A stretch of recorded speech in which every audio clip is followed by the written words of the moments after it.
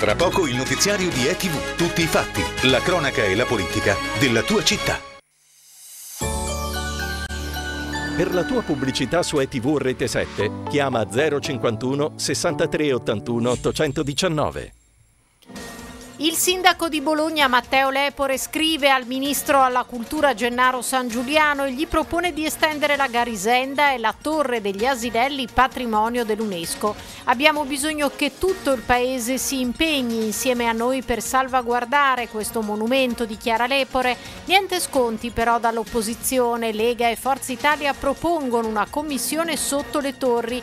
Fratelli d'Italia e Bologna ci piace convocano un consiglio comunale straordinario. È durato mezz'ora il blocco del traffico causato sui viali di Bologna, altezza di Porta Mascarella, dalla protesta degli ambientalisti di ultima generazione che si sono seduti in mezzo alla strada esibendo uno striscione. Tanti gli automobilisti che si sono arrabbiati, qualcuno è sceso dalla macchina per spostare di peso i manifestanti prima che arrivasse la polizia a sgomberarli. Una quindicina gli attivisti che sono poi stati denunciati. Questa mattina nella piazza coperta della Sala Borsa i rappresentanti delle aziende La Perla, Marelli, ex Saeco e ex Breda Menarini si sono confrontati con le istituzioni locali e hanno fatto il punto sulle vertenze in atto. Si tratta delle più importanti crisi aziendali presenti sul territorio bolognese. Valorizzare il ruolo dei medici di formazione specialistica che si renderanno disponibili a lavorare nei CAU, centri di assistenza urgenza previsti dalla riforma avviata dall'Emilia Romagna, è il principale obiettivo del protocollo di collaborazione firmato oggi dalla Regione dai rappresentanti di ALS, Associazione Liberi Specializzandi.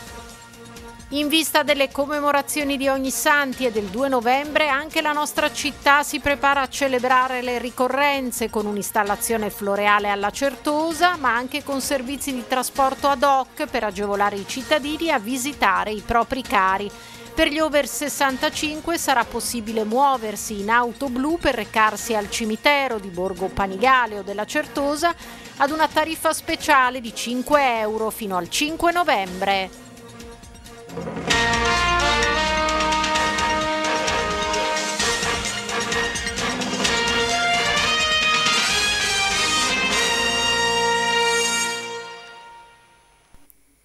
Buonasera telespettatori e ben ritrovati con la seconda edizione del nostro telegiornale. In apertura torniamo a parlare della Torre Garisenda. Il sindaco Matteo Lepore invia una lettera al Ministero alla Cultura San Giuliano nella quale chiede che anche le eh, due torri siano inserite nel eh, patrimonio UNESCO. Facciamo il punto in questo servizio di Maria Elena Mele. Lettere e telefonate, c'è un filo diretto tra Bologna e Roma, tra il sindaco Matteo Lepore e il ministro alla cultura Gennaro San Giuliano, all'annuncio del primo cittadino di inserire anche la Garisenda e la torre degli Asinelli patrimonio UNESCO, il ministro evidenzia perché il comune non si è posto prima il problema, ma al tempo stesso San Giuliano si è detto come ministero disponibile a lavorare insieme per la salvaguardia della Garisenda. Dal canto suo il sindaco Matteo Lepore prosegue sulla linea non voglio fare polemiche. Eh, l'utilità di questa proposta è, soprattutto politica e di attenzione. Noi abbiamo bisogno davvero che tutto il Paese eh, si impegni insieme a noi per salvaguardare questo monumento. Occorrono risorse, ma occorrono anche buone idee. Credo che noi siamo in grado insieme al Ministero di presentare una progettualità importante per dimostrare che eh è un patrimonio della, della universale dell'umanità, il centro storico di Bologna con i suoi portici e le sue torri. Insomma, eh, è possibile discutere con la Commissione in questo senso, eh, significa non chiedere un nuovo riconoscimento, ma significa allargare il sito dei portici. Quindi credo che eh, se si vuole dal punto di vista politico sostenere questa proposta eh, sia, sia fondamentale iniziare a lavorare assieme. I passi per far sì che anche le due torri vengano inseriti assieme ai portici patrimonio UNESCO non sono immediati. Noi avanziamo la proposta, poi vedremo. Non è che eh, aspetteremo eh, ovviamente l'UNESCO per salvare la Garisenda, però eh, credo che sia importante che si lavori tutti e si mobilitino tutte le attenzioni e le risorse. Eh, non sappiamo ancora quanto costerà la salvaguardia, ci arriverà il progetto a breve, però ci dobbiamo tutti attivare per trovare risorse, quindi noi come comune abbiamo detto che faremo fronte alle spese che saranno necessarie, eh, richiederemo sicuramente anche il sostegno attraverso l'AR bonus e anche questo è un aspetto che il Ministero eh, può mettere a disposizione e poi tante aziende private che potranno contribuire come abbiamo fatto per il Nettuno. Nel dibattito sulla Garisenda l'opposizione non fa certamente sconti ma procede divisa. Lega e Forza Italia propongono una commissione sotto le torri, Fratelli d'Italia e Bologna ci piace convocano invece un consiglio comunale straordinario. Vediamo. Come gruppo abbiamo dato la nostra disponibilità a collaborare sul tema della torre Garisenta ma ad oggi non siamo stati coinvolti e per questo motivo insieme al gruppo consigliare di Fratelli d'Italia proprio oggi abbiamo presentato con urgenza una richiesta di convocazione di un consiglio straordinario che vada proprio a affrontare quelli che sono i temi della Garisenda con tutte le ripercussioni del caso. Pensiamo alla mobilità cittadina, ma anche alla vivibilità della zona, dei residenti, ma anche delle attività commerciali che saranno e che subiranno notevoli conseguenze negative. Assieme ai colleghi del gruppo Bologna Ci Piace, quest'oggi noi di Fratelli d'Italia abbiamo richiesto la convocazione di un consiglio comunale straordinario che si occupi esclusivamente dello stato di salute della Torre Garisenda. Abbiamo chiesto la presenza, secondo noi fondamentale, del sindaco, di tutti gli assessori e dei tecnici del Comune di Bologna perché se fino ad oggi c'è stato un intervento tardivo da parte del sindaco e della giunta, ci vuole davvero collaborazione e ci vuole tutta la verità. Il sindaco porti tutte le carte che sono arrivate dalla soprintendenza, porti tutte le carte del comitato tecnico scientifico, dica tutta la verità ai cittadini bolognesi. Solo così si può collaborare per il bene e per la salute di tutti. E restiamo ancora in tema Garisenda perché oggi Simona Larghetti di Coalizione Civica è intervenuta in ecco, Consiglio Simona Comunale partendo dal gioco Chi buttiamo giù dalla torre, tre i candidati per il salto, il trasporto pubblico su gomma, lo spazio pubblico e il traffico privato di attraversamento. Nel suo ragionamento la Larghetti ha dichiarato giocando a obbligo e verità con il comitato scientifico che monitora la Garisenda, ha spiegato la Larghetti si saprebbe che il principale responsabile dell'instabilità l'attività della torre non è il 14 o il 27 ma è il cambiamento climatico e che il centro è pesantemente invaso da auto private di non residenti che tagliano dal centro e dai furgoni delle consegne a tutte le ore, congestionando così gli assi del trasporto pubblico, ha spiegato ancora la eh, Larghetti. Allerta rossa oggi per piene e frane nella zona occidentale dell'Emilia Romagna, nelle aree appenniniche delle province di Bologna, Modena e Reggio. Le intense precipitazioni osservate e previste nella giornata di oggi, scrive l'ARPAE, determineranno livelli idrometrici prossimi o superiori alle soglie 3 su Aveto, Nure, Parma, Baganza e prossimi o superiori alle soglie 2 negli altri corsi d'acqua del settore occidentale della regione con fenomeni eh, franosi. Nelle prime ore di domani sono ancora previste condizioni favorevoli allo sviluppo di temporali di forte intensità in progressivo spostamento dai rilievi e con esaurimento dei fenomeni già nella mattinata. Le precipitazioni, spiega l'ARPAE, rallenteranno l'esaurimento delle piene in corso, mentre nella prima metà della giornata saranno poi possibili fenomeni franosi ruscellamenti lungo i versanti ed erosione delle sponde. Lungo eh, appunto eh, l'asse di questo telegiornale parliamo anche di una protesta, traffico in tilt questa mattina sui viali di Bologna all'altezza di Porta Mascarella dove è andata in scena una nuova iniziativa di protesta degli ambientalisti di ultima generazione che si sono seduti in mezzo alla strada bloccando così il passaggio delle auto, tanti gli automobilisti che eh, si sono arrabbiati prima che arrivasse la polizia a sgomberare arrestare gli attivisti tutti eh, denunciati per blocco stradale e ovviamente manifestazione non autorizzata. Federico Balletti ci relaziona. Le catastrofi climatiche colpiranno ancora più potenti come hanno colpito in Emilia Romagna, come hanno colpito in tante altre regioni. La protesta è cominciata alle 8 e un quarto, senza dubbio un'ora di punta per il traffico e quando gli attivisti si sono seduti in mezzo alla strada bloccando Viale Berti Pisciate e via Stalingrado a pochi passi da Porta Mascarella a Bologna, gli automobilisti si sono inevitabilmente arrabbiati. Tanti hanno suonato il clacson, qualcuno è sceso dalla macchina per provare a spostare di peso i manifestanti prima che arrivasse la polizia a sgomberarli. Basta questo imprenditore, che andiamo a stare, sta qua, Dobbiamo andare a lavorare! Poi mi porteranno via, ma cos'è questo rispetto alla crisi?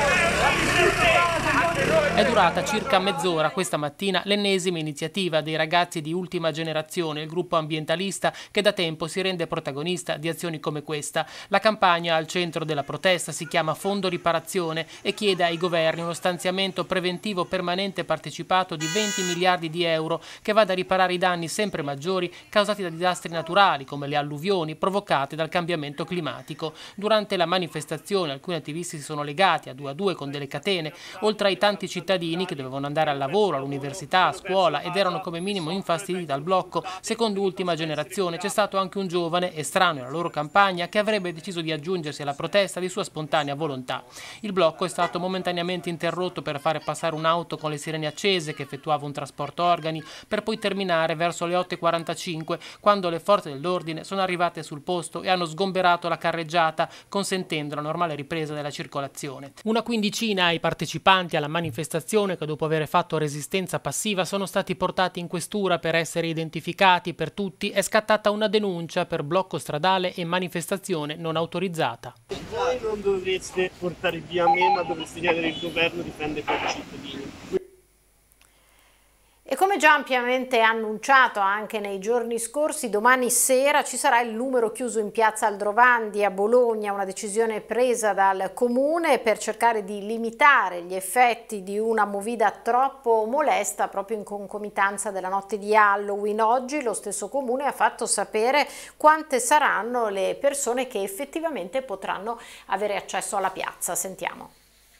Saranno al massimo 650 le persone che la sera di Halloween potranno stare contemporaneamente in piazza Aldrovandi. È questo il numero limite stabilito dal Comune di Bologna che ha pubblicato l'ordinanza che disciplina gli accessi a una delle zone più frequentate della Movida nella notte fra martedì e mercoledì. Una decisione annunciata già nei giorni scorsi con l'obiettivo di rendere più vivibile la piazza sia per i frequentatori che per residenti e commercianti. Fra le 20 del 31 ottobre e le 4 del 1 novembre, piazza Aldrovandi sarà dunque numero chiuso, o meglio ad accesso contingentato fino a un massimo di 650 persone, con ingresso solo attraverso varchi di entrata e uscita presenti su via San Vitale e su strada maggiore e presidiati da polizia locale e street tutor. Fra le altre misure sarà in vigore il divieto di ingresso con qualsiasi bevanda in contenitori di vetro e con qualsiasi strumento musicale o apparecchio di riproduzione musicale. Vietato anche l'abbandono di rifiuti, vietato l'accesso nell'area sopraelevata davanti al civico 12 della piazza, uno dei punti dove si creano di solito i maggiori assembramenti. Dalle 20 di martedì fino alla chiusura è inoltre vietata ai titolari e gestori di tutte le attività presenti nella piazza la vendita per asporto di bevande alcoliche di qualsiasi gradazione contenute in lattine e contenitori di vetro. Divieto totale di qualunque somministrazione poi a partire da mezzanotte e infine chiusura a luna. L'invito del Comune di Bologna ai frequentatori abituali di Piazza Aldrovandi è di scoprire anche altri luoghi della città. Per questo, sempre la notte di Halloween, l'intera rete del trasporto pubblico sarà gratuita da mezzanotte fino alle 6 e oltre agli autobus ci sarà attiva anche una navetta gratuita City Red Bus con partenza da Porta San Vitale che farà la spola verso tre zone ad alta densità di locali, via Casarini, via Stalingrado e la zona San Donato. Sono stati arrestati dalla polizia gli autori di una violenta rapina avvenuta nella notte fra sabato e domenica nei pressi di via Matteotti in zona bolognina. Si tratta di due cittadini nordafricani, uno di 21 anni e l'altro 17enne. Sono accusati di aver afferrato per il collo un uomo per poi sfilargli dalle tasche il portafogli con dentro 20 euro e i documenti.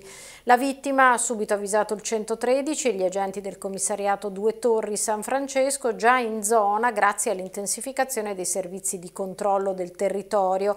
Hanno poi rapidamente rintracciato i due rapinatori in via Matteotti ancora in possesso del portafogli. Il maggiorenne è finito in carcere, il 17enne è stato portato in un centro di prima accoglienza. Ancora eh, cronaca, un importante club di basket che milita nella Serie B interregionale è finito nei guai in un'indagine condotta dalla Guardia di Finanza di Bologna che ha scoperto una frode da un milione e mezzo di euro realizzata attraverso false sponsorizzazioni. Sono coinvolti dirigenti, eh, giocatori e anche componenti degli organi eh, di amministrazione. Vediamo. Sono 23 fra dirigenti, giocatori e altre figure le persone denunciate dalla Guardia di Finanza di Bologna che ha smascherato una frode fiscale realizzata da una importante società di basket militante nella Serie B interregionale ed altre 20 società per lo più bolognesi attraverso un sistema di false sponsorizzazioni realizzato con la compiacenza di alcuni giocatori e dirigenti sportivi. L'ammontare dei ricavi non dichiarati supera il milione di euro. L'indagine, coordinata dalla Procura, è stata condotta dagli investigatori operatori della compagnia di Imola, delle Fiamme Gialle. L'espediente truffaldino, coordinato dalla società di basket, spiegano i finanzieri, consisteva nell'emissione di fatture per operazioni inesistenti, mediante la ricezione di denaro fino a quattro volte il reale valore delle sponsorizzazioni effettuate. In seguito, tramite rimborsi e stipendi gonfiati di dirigenti e giocatori, queste somme venivano prelevate in contanti e in parte restituite alle società sponsor. Questo meccanismo avrebbe permesso agli stessi sponsor di beneficiare di costi per abbattere il proprio imponibile ai fini delle imposte dirette, con la conseguente evasione fiscale. Gli accertamenti hanno permesso di ricondurre a tassazione maggiori ricavi per circa 750.000 euro, ulteriori 450.000 euro di imponibile sono stati contestati alle società sponsor che hanno beneficiato della frode. Le 23 persone indagate sono dirigenti, iscritti delle varie società sportive e componenti degli organi di amministrazione. Secondo i finanzieri, questa frode, oltre ad avere causato una rilevante evasione fiscale, fiscale e contributiva ha comportato un'alterazione delle condizioni di concorrenza anche in danno delle altre società di basket militanti nella stessa categoria. In conseguenza degli illeciti rilevati è stata avviata nei confronti della società di basket coinvolta una proposta di disconoscimento della natura di ente non commerciale col venir meno del conseguente regime di tassazione agevolato previsto per il terzo settore. Siamo alla pagina sindacale questa mattina a Bologna. I dipendenti delle quattro vertenze presenti nel territorio metropolitano si sono dati appuntamento in eh, Sala Borsa. Andiamo a vedere com'è andata. Le vertenze sindacali La Perla Marelli, Exa Eco, Exa Breda Menarini entrano nel cuore di Bologna oggi più che mai ad evidenziarli. Non solo i quattro stendardi appesi nella piazza interna di Sala Borsa, ma anche il dialogo che la città metropolitana sta portando avanti insieme alla regione Emilia-Romagna e ai lavoratori che da tempo lottano per la tenuta occupazionale. Come istituzioni lanceremo entro l'anno l'iniziativa degli Stati Generali, dichiara il sindaco metropolitano Matteo Lepore che ha proseguito. Il nostro è un territorio anche forte e attrattivo che sta vivendo un momento di grande cambiamento, vediamo eh, arrivare nuovi investitori, aprire nuove aziende e allo stesso tempo questa grande trasformazione della produzione eh, nel manifatturiero come eh, quella della moda o, o dell'automotive. Al tavolo sono stati invitati a parlare i rappresentanti delle quattro aziende ad iniziare dalla Perla che sta vivendo una situazione critica.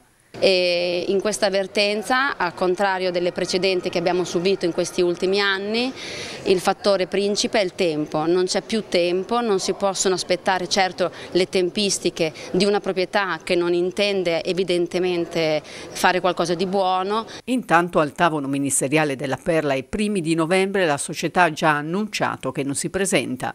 Ho il timore che ha deciso di non presentarsi più, ecco, e quindi attenzione Adesso vediamo cosa succede, c'è l'incontro fissato. Quel soggetto, eh, due cose, gli ho già detto, gli è già stato detto. Eh, va bene che si presenti con un progetto industriale di rilancio, ma di progetti industriali di rilancio c'è pieno il mondo e anche il soggetto che ci mette la finanza. Per la Marelli di Crevalcore i segnali sono positivi con l'arrivo di cinque manifestazioni di interesse, ma i dipendenti restano prudenti.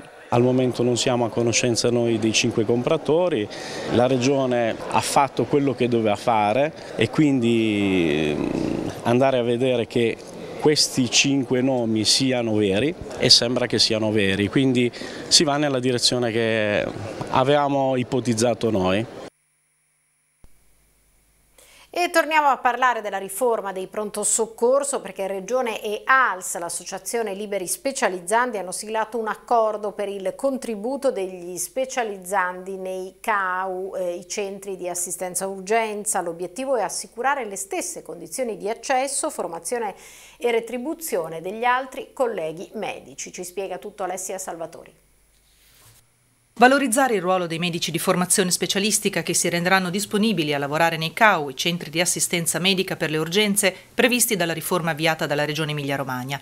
È questo il principale obiettivo del protocollo di collaborazione presentato oggi e firmato dalla Regione e dai rappresentanti di ALS, Associazione Liberi Specializzanti dell'Emilia-Romagna, la più rappresentativa della categoria. Priorità dell'intesa dare agli specializzandi le stesse condizioni di accesso, formazione e retribuzione degli altri colleghi medici che lavoreranno nei CAU.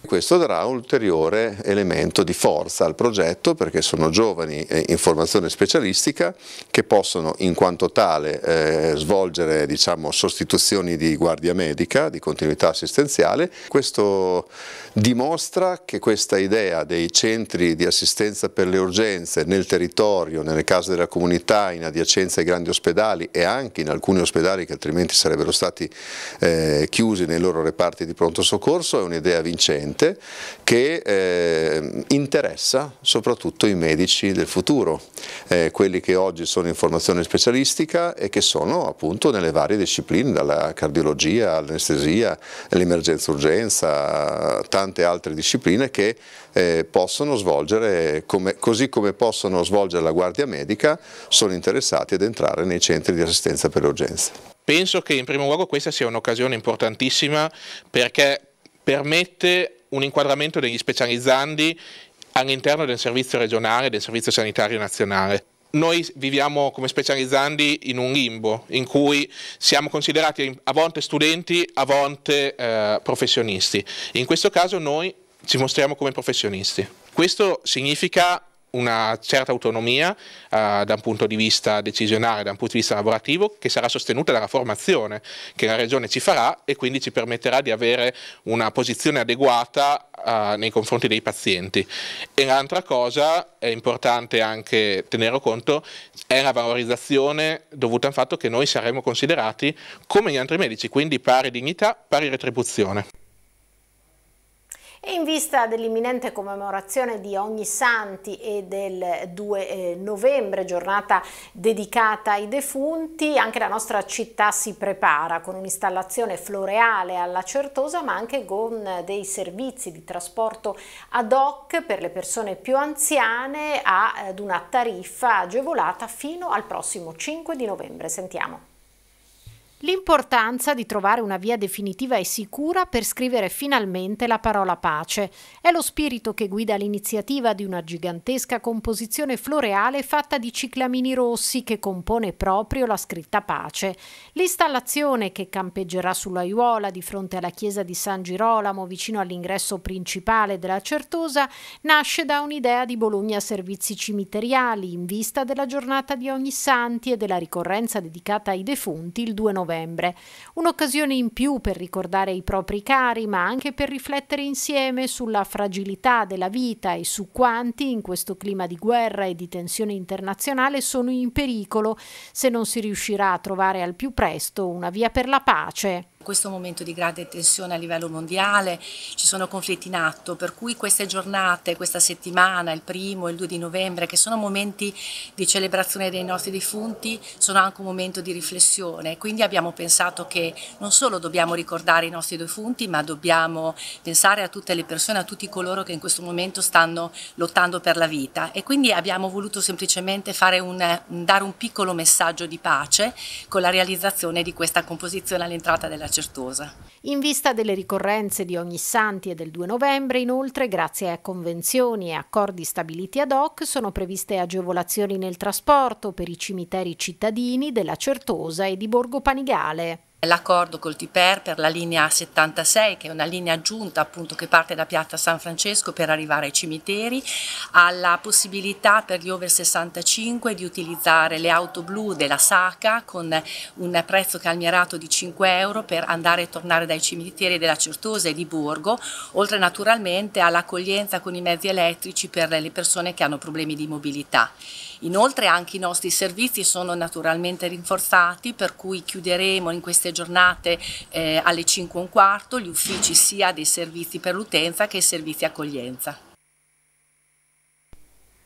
Il gruppo Intesa San Paolo ha deciso di destinare un miliardo e mezzo per il sociale, in particolare contro le diseguaglianze, con una sede ad hoc a Brescia. Il CEO Carlo Messina annuncia anche degli aumenti ai eh, dipendenti e eh, il ricalcolo del TFR.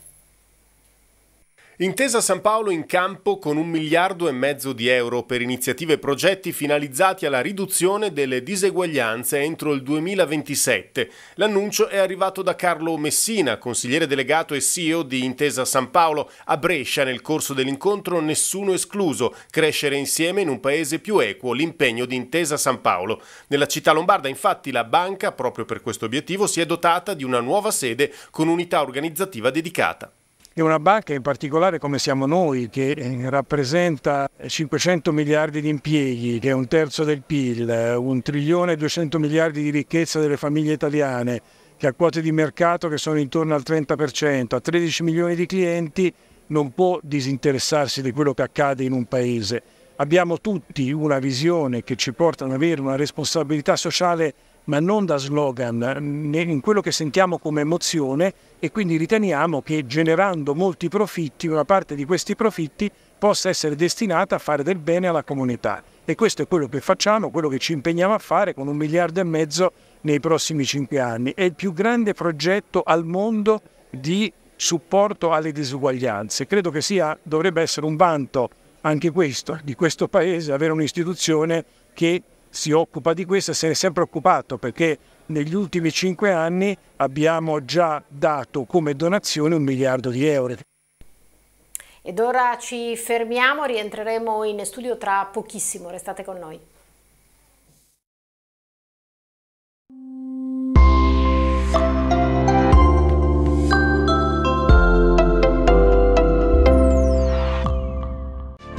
Tra i più importanti saloni di Bologna da oltre 25 anni, Magica Parrucchieri è molto più di un hairstylist. Uno staff giovane e dinamico all'interno di un concept store al servizio della tua immagine, per la cura e la bellezza dei tuoi capelli. In una location dedicata troverete ad accogliervi la professionalità di Estetica Lara. Rimani sempre aggiornato seguendo Magica Parrucchieri anche su Facebook e Instagram. Magica Parrucchieri ed Estetica Lara, via Procaccini 10, telefono 051 36 16 12 051 41 36 16 06. A Bologna c'è un luogo unico per dare spazio allo stare insieme.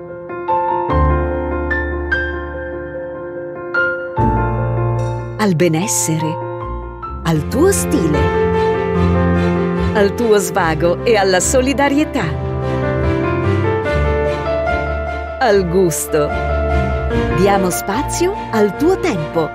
Al centro commerciale Via Larga e Spazio Conad, a Bologna in Via Larga 10.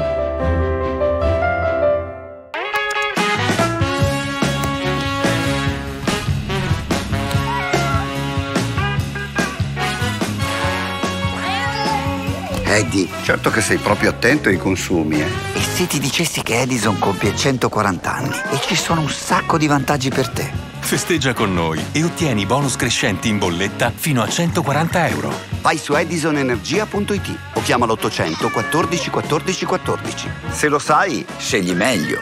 Roveri Design apre il suo nuovo showroom di 500 metri quadri. In esposizione un'ampia scelta di materiali, pavimenti, rivestimenti, cucine, sanitari e rubinetteria delle migliori marche. Aperto tutti i giorni dalle 9 alle 12.30 e dalle 14.30 alle 19, tranne il lunedì mattina e il sabato pomeriggio, chiuso la domenica. Sapremo trovare insieme a te le soluzioni giuste per la tua nuova casa. Per la tua casa da sogno, Roveri Design rovericostruzioni.com, via Bartolomeo Provaglia 5 Bologna.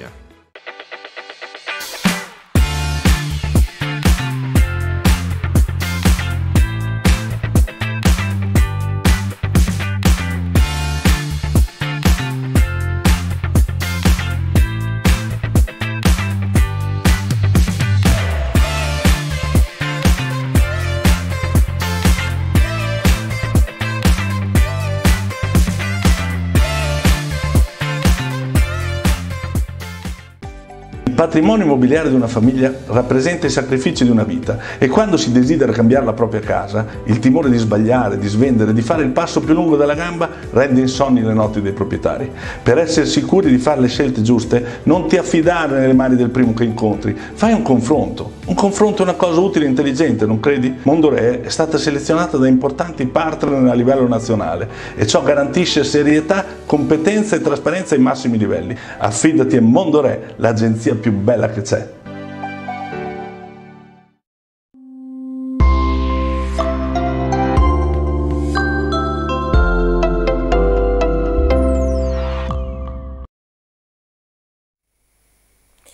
Ancora insieme per parlare di spettacoli vi segnaliamo che dal 3 al 5 novembre alle 21, domenica alle 16, spettacolo pomeridiano, approda al Teatro Duse di Bologna La coscienza di Zeno nell'adattamento di Monica Codena e Paolo Valerio che firma anche la regia.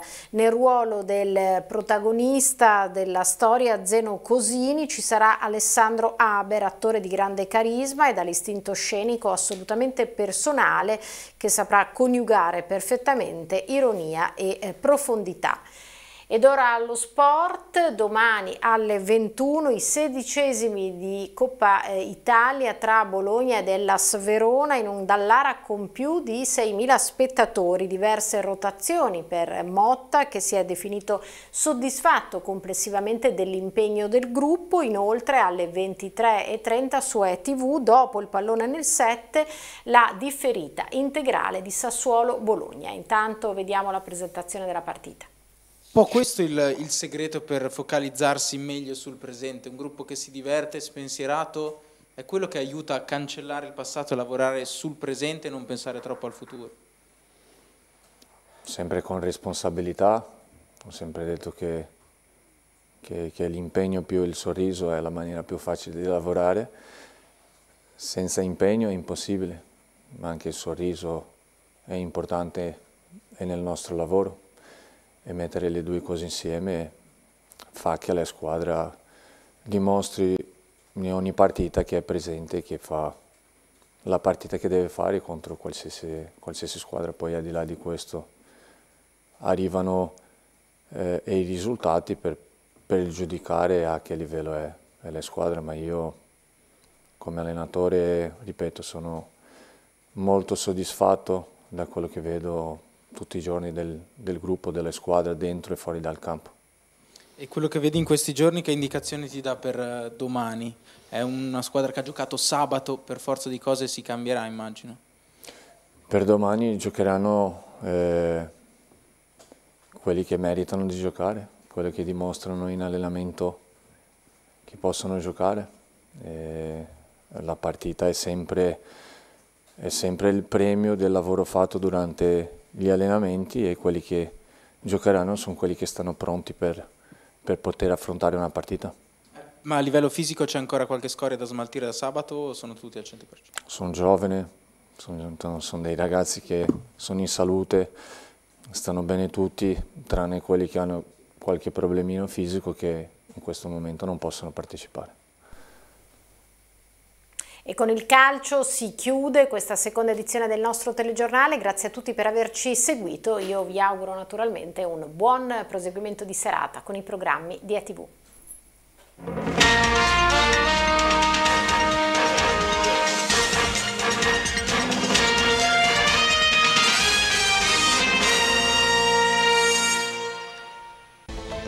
ETV è sempre più online col nuovo sito www.e-tv.it.